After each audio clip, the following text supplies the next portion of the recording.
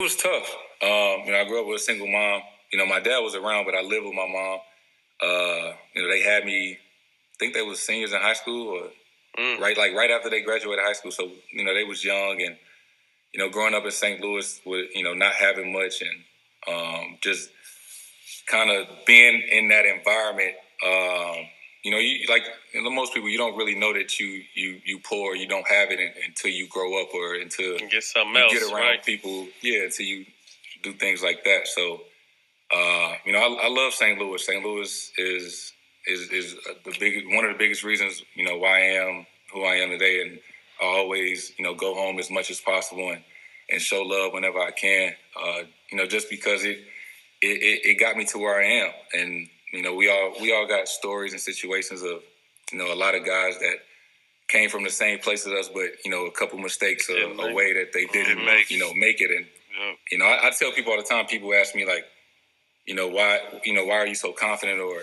you know, what was your biggest fear, you know, growing up? And I always wanted to, you know, play basketball and be in the NBA, and I never felt like I wasn't good enough or I didn't have the talent you know, my I tell people my biggest fear all the time was just growing up in St. Louis, just being at the wrong place in the wrong time. Mm. Uh, I was that was like Not a real fear out. for me growing up. You know, just always. I tell people you know, that all the time, bro. Yeah, it's mm-hmm. real. Like being at the wrong place at the wrong time is is scary, especially you know back in St. Louis. So I I thank God every day. I, you know, I was able to live up my dream. Jayson Tatum's high school senior class. I thought that that class had so much talent I thought that they would definitely have a couple stars out of his high school senior class to be stars in the NBA. But Jayson Tatum is really the only one that really uh that really panned out out of that class as being a potential uh, star. Um, they had uh, Harry Giles. He went off through those uh, knee surgeries. That kind of, you know, diminished his uh, his athleticism a lot. Uh, Josh Jackson. I don't think he's even in the league no more. Um, they had Malik Monk, um, Miles Bridges. Who else? De'Aaron Fox was in uh, that class. He's turned to be a to be a, a pretty decent player. Um, who else? They had Lonzo Ball, Markelle Fultz. Um, I think Dennis Smith Jr. was in that class as well. Uh, Terrence Ferguson. They had some man. They had some really talented guys in that senior class. And I mean, it just seems that uh, Jayson Tatum is really the only one to, to break out to become a star. I thought they would have uh, more stars out of that class, but that just goes to show you that you never know who who's going to be who. If you're new to the channel, welcome. If you're not, welcome back. Right here in this video, we got Jayson Tatum talking about how his biggest fear growing up was being in the wrong place at the wrong time and jeopardizing his basketball career. And that is something that is so true and something that I, I really didn't think about as I was growing up coming to play basketball. And that's uh, something I think was a big detriment to me and my career was I just thought that uh, I thought I didn't think that timing mattered. I thought that all that mattered was that if you were good enough, that you would you would be there, you would get there. If your skills were good enough to play in the NBA, that you would one day be in the NBA. And so I really focused on my skills and being the best basketball player that I could be.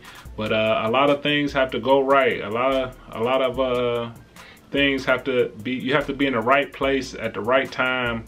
Have the right person see you for a lot of things to take place. And so it's just um it's just something that you should keep in mind as well.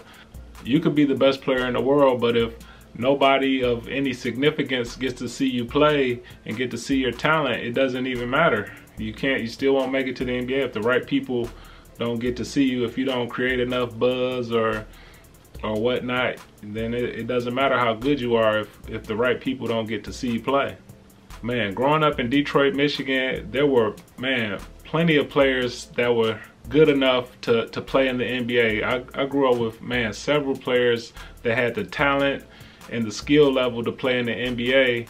But I mean, for one reason or another, you know, a lot, most of them didn't make it. And that's just uh, how it goes in basketball. In basketball, you guys, it's only a handful of players that are just so talented that they're going to the NBA no matter what. I mean, Kevin Durant, you know, uh, Giannis Antetokounmpo being that tall and that agile and all that, LeBron James. You know, it's just a handful of players that are just so talented that they're going to be there, I mean, almost no matter what. A lot of players that start on your very favorite team could be a bunch of different people that are just as good or just as skilled as them, but they weren't in the right place at the right time. They didn't have the right timing. They didn't have the right agent. They didn't go to the right school. But it's uh, plenty of people are just as skilled as a lot of starters in the NBA and everybody on the bench in the NBA. It's only a handful of people that are just so talented that they're going to stand out so far.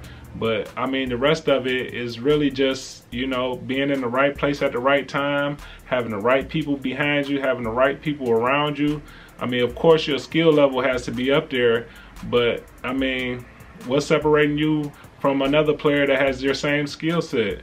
I mean, shoot, his his agent might be the same age. His agent might be Rich Paul, and that can get him in the door. Your agent might be somebody that you don't, that you know, that only has a couple players in the NBA. Stuff like that matters, and those are things that I never thought about when I was coming up.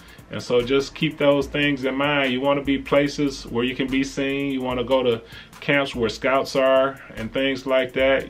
You want to be careful with the school that you pick. You want to pick a school that'll uh, complement your game. You, uh, if you're very good in transition, you don't want to go to a school where they're walking the ball up the court.